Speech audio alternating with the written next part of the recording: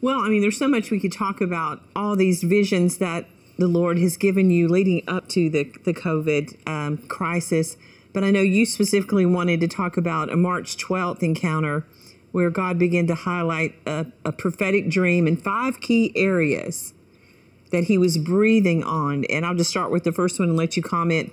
One of the greatest gods in America is being shut down sports and entertainment. And I guess this was right before COVID had really hit and we started shutting down because I know we were in South Africa on March the 12th ministering and then we got back in before everything actually shut down. Do you remember this? These five points that you were, the Lord yes. told you? Yeah, you know, folks uh, early on were really discouraged, and I just began to pray and ask God for some type of redemptive perspective. And I began to think about what it really takes for awakening and revival and the fact that many of the sports arenas were shut down. There's so much money and focus in America on sports and entertainment that I believe it was a divine reset. I believe we're in a divine reset right now on the earth where God is beginning. You know, you even have, you know, what a joy it's been to work with fathers who are learning to disciple their own children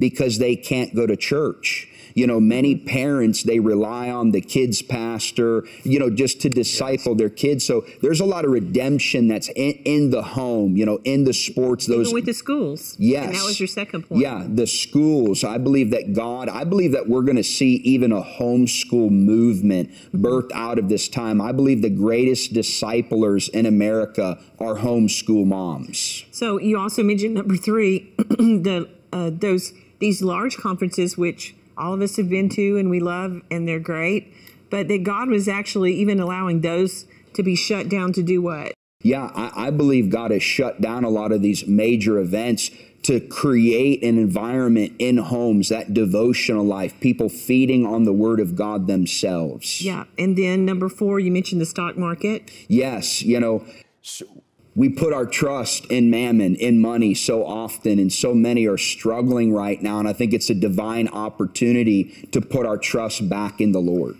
And then the fifth one was prayer and the recognized need for God. And that's why we've done ministry now.